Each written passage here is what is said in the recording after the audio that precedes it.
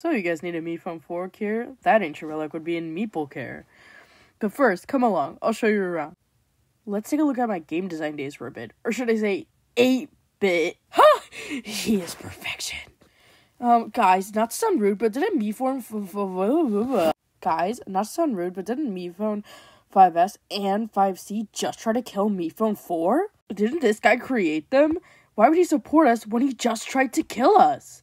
That's nonsense. He's my business partner. The stage fights on your show get us a lot of product placement. But business, whoa, whoa, whoa, brrr. Phone never said it was all fake.